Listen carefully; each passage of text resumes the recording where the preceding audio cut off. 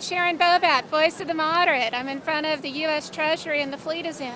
Not talking about the U.S. Navy, I'm talking about all the black cars. That means that they're working on that BNP Paribas deal.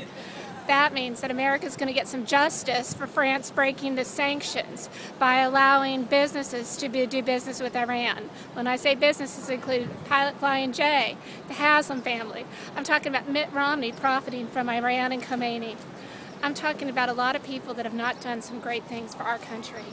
But when I see this fleet of black cars in front of the Treasury on a Sunday, I know that some justice is going to happen.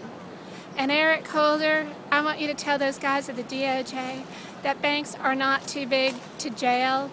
Okay, you've proven that they're not too big to fine. But we got to put some people in jail. I'm all for the indictment 2014.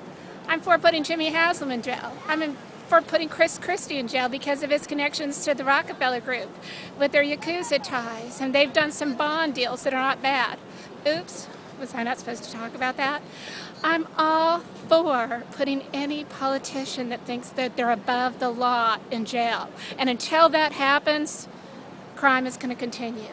And I've been living temporarily in Chicago, and let me tell you, there's not a lot of white collar crime because they put their corrupt governors in jail. I mean, I don't know what the last one's doing with his hair situation, and he was probably one of the dumbest corrupt governors I've ever seen, Blagojevich or whatever his name is, but he's in jail.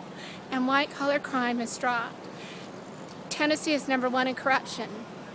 I think somebody has their to-do list, and I hope a RICO case is happening in Tennessee. Anyways, the fleet is in front of the um, Treasury, all the black cars. That means they're working. I'm gonna go check out the FBI. James Comey, are your guys at work? I hope so. We'll talk to you later. Bye.